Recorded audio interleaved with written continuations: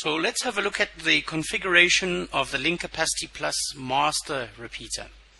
So the first thing that you need to check is the firmware version. In this case, the firmware version in this repeater is a little bit old, but it's sufficient for Link Capacity Plus. And the other thing that you need to check is that the Capacity Plus multi-site license is purchased. It's loaded into the repeater. So, so those two things are there. So now I can get on to configure this repeater. The first thing that I want to do here is I want to set the radio ID. So presently it's set to 1. This is what I want. So the radio ID in this case for the master is 1. The radio name, you can put whatever you want in there. Here I've put uh, repeater 1. So this would be just some text and it's important because this text is shown in applications like RDAC and, and other system monitoring tools. Moving on to accessories. Here there's nothing of interest. Onto security. Uh, privacy type is set to none. If you're using any kind of privacy or encryption, you need to set this to enhanced or basic. Uh, restricted access to system, there's, there's nothing set there. If you want to use RAS, then you need to do some settings there. The important stuff happens here under network, and here I need to specify the IP address of the repeater. Now, since this is a link capacity plus master, it needs to have a static IP address. So the IP address of this repeater in this case is 192.168.1.2. This is what I want. The gateway IP address 192.168.1.1. This is also correct. And the gateway net mask is 255.255.255.0. This is also something that I want. The next part that I need to look at is link establishment. So this repeater, it's set up as the master repeater. That's correct. The master IP address. Okay, this is the master, but we, we can put in an IP address here. And the IP address that we are going to be using here is 172.16.1.1. So this is the IP address of the master repeater on the WAN of the router. Moving on, the master UDP port is 50,000. The repeater's own UDP port is also will be in this case 50,000. The other settings over here you don't need to worry too much about. The settings here for capacity plus you need to be concerned about. The first thing that you need to be sure of is that the site ID is set. So in this case the master repeater is sitting on site 1 so the site ID will be 1. The site alias here you would put in a, a text string so to identify what site this is so in this case I've set this to be site 1 so when you use a tool like RDAC, uh, when you connect, you will see the site alias will come up in RDAC as well as the uh, radio name that we set here up in under general settings. The next two settings here, these are moderately important. This is the uh, beacon duration and beacon interval.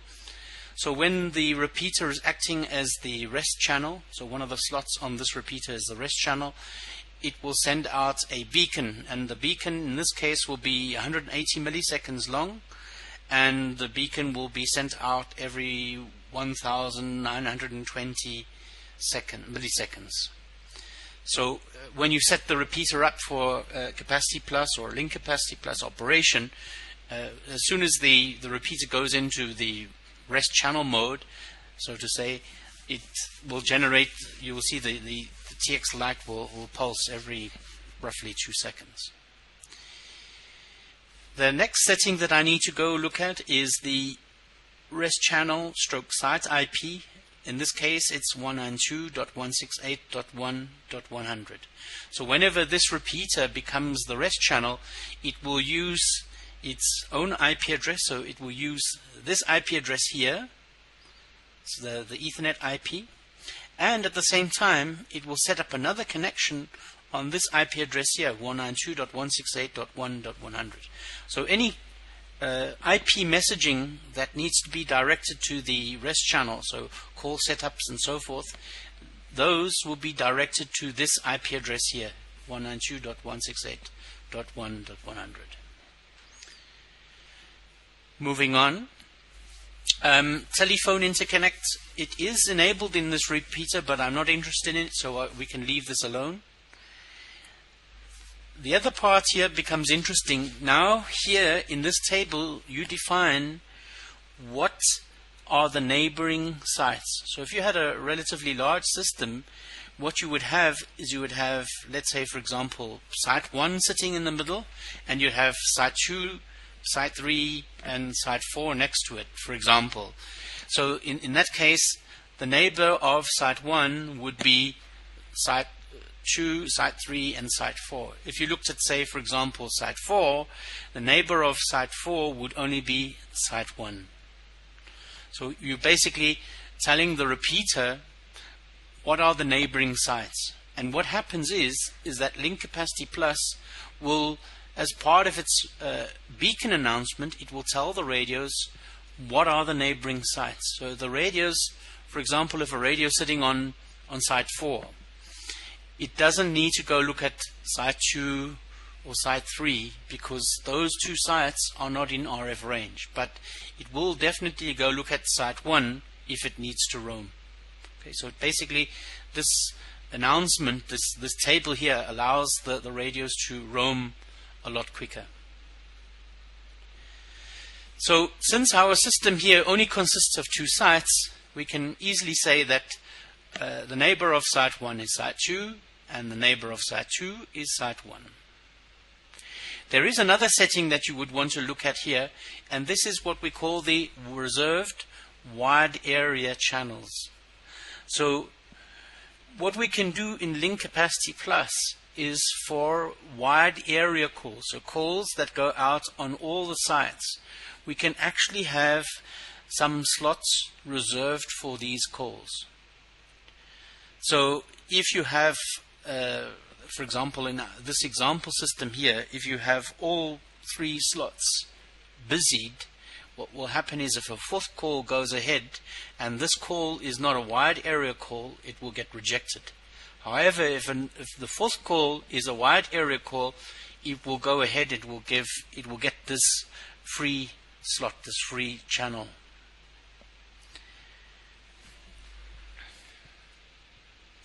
The next thing we need to look at in the master is the talk groups table.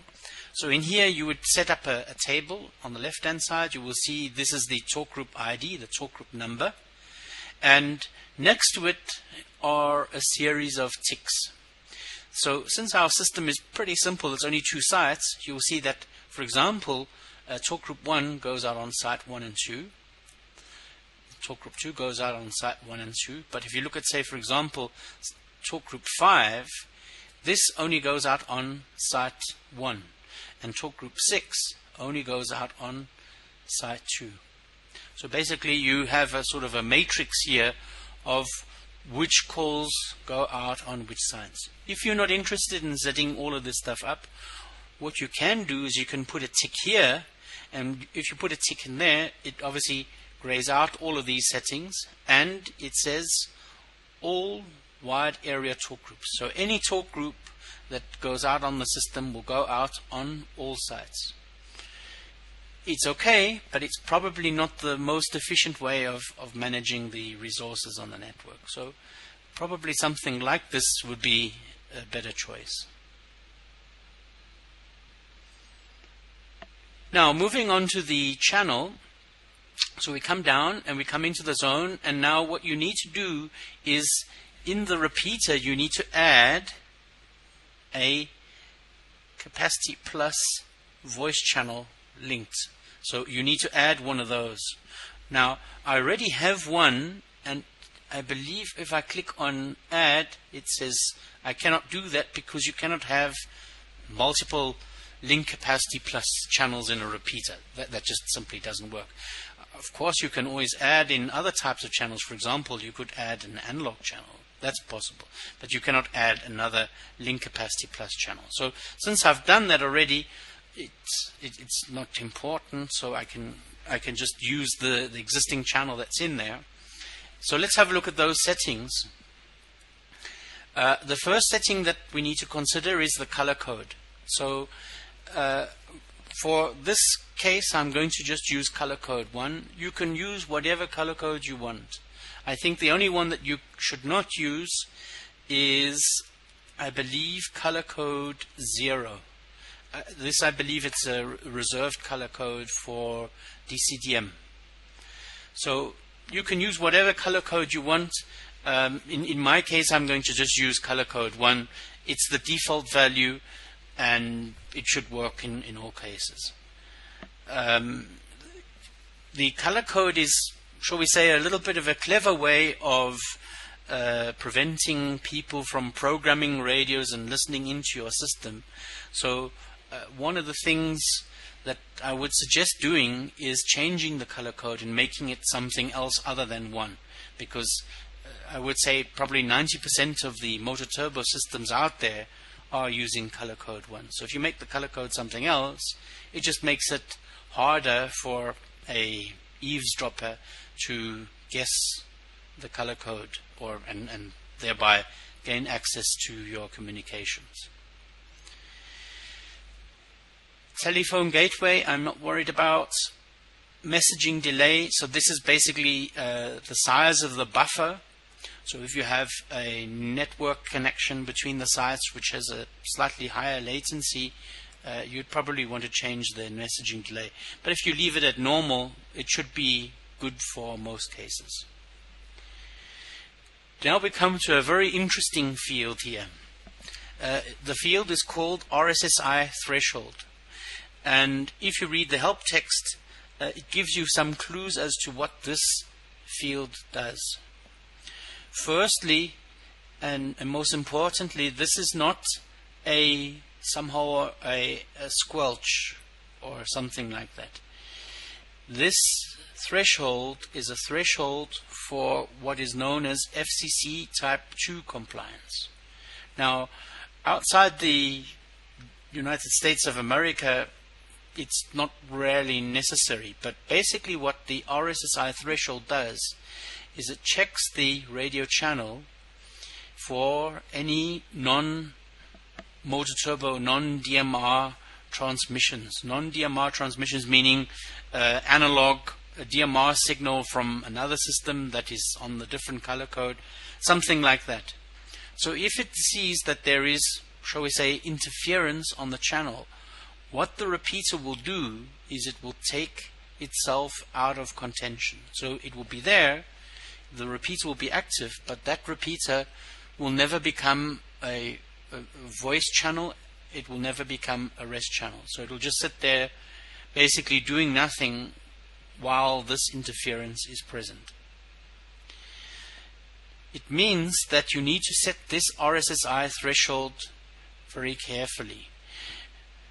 The recommendation, and this is my personal recommendation, not a Motorola engineering recommendation, is that while you are testing the system in the lab, so all the repeaters are, are on top of each other, and you have radios within a few a few meters of the, of the repeaters and and all that. You've got RF flying around.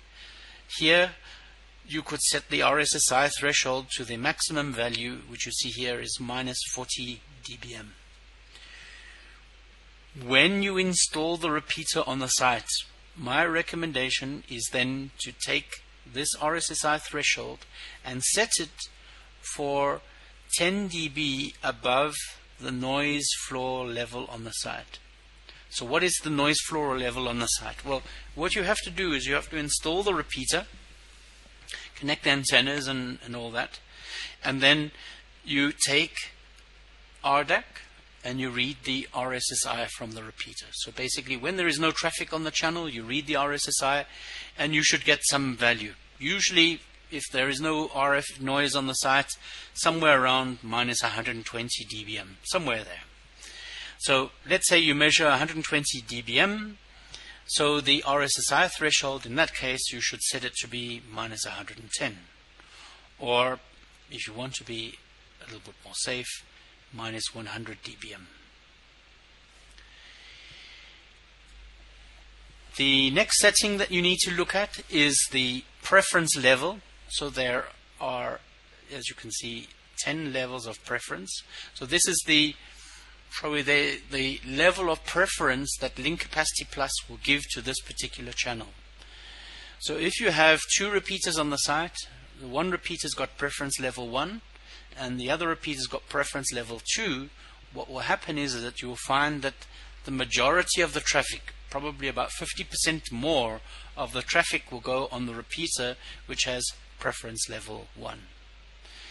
My suggestion is in a link capacity plus system is to set all of the repeaters to the same preference level. So in this case, preference level 1. Here is an important setting. Uh, slot 1 channel ID and slot 2 channel ID. You'll see that the slot 2 channel ID is, you cannot change it, it's plus 1. So since this is the first repeater on the site, I'm going to set the slot 1 channel ID to be 1. And when we come to the peer, we will set that to be 3. So this will be effectively the virtual channel number. Virtual channel number 1, virtual num channel number 2, and then when we come to the peer, it will be 3 and 4.